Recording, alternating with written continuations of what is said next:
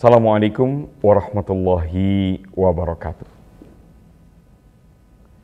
Bismillah, Alhamdulillah, Assalatu wassalamu ala rasulillah, Muhammad ibn Abdillah, Al-Qaim bihukukinna, ma baqat illa wa farrajah Allah. Saudaraku yang dimuliakan Allah. Bayangkan sejenak ketika fajar menjamah bumi, membelai dedaunan yang berembun. Saat udara segar masih merayapi pori-pori wajah.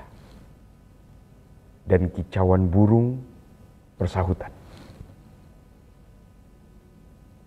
Pertanyaannya, adakah keindahan serupa di hati yang lalai meneladani kesempurnaan ciptaannya? Lingkungan yang kita tinggali bukanlah sekedar tanah pijakan kaki.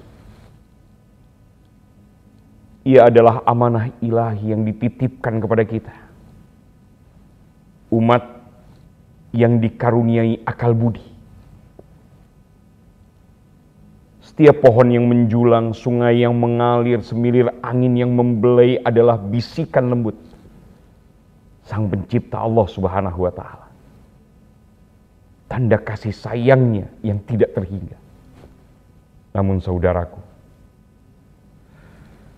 lihatlah luka menganga di bumi pertiwi ini. Hutan digunduli, sungai keruh, langit pekat. Bukankah itu nestapa? Nestapa yang mengoyak sukma meruntuhkan pilar keimanan. Allah mengingatkan wala tufsidu fil ardi ba'da islahiha. Janganlah engkau berbuat kerusakan di bumi ini setelah Allah ciptakan dengan baik.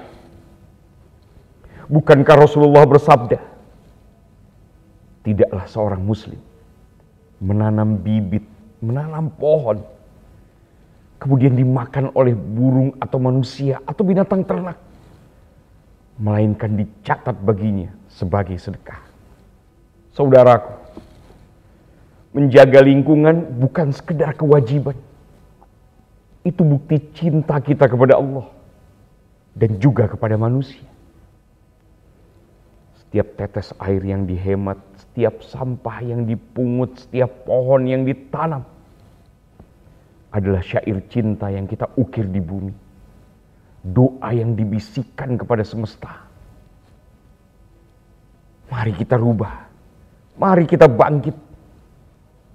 Bukan hanya sebagai umat yang bersujud, tapi sebagai khalifah yang bertanggung jawab. Hijaukanlah kembali, jernihkanlah kembali. Dan biarkan kicau burung kembali mengalun merdu.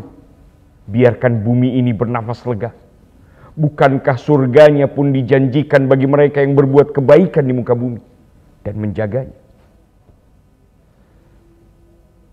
Jangan biarkan generasi kita mewarisi tanah gersang dan langit kelabu. Mari kita wariskan dunia yang asli.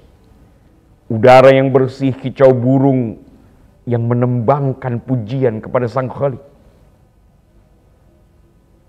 Jadilah kita generasi yang memeluk erat amanah Generasi yang meneladani kasih sayang Allah pada ciptaannya. Generasi yang bersyukur. Dengan bumi yang subur dan langit yang cerah. Saudaraku, semoga Allah Subhanahu wa taala senantiasa membimbing langkah kita.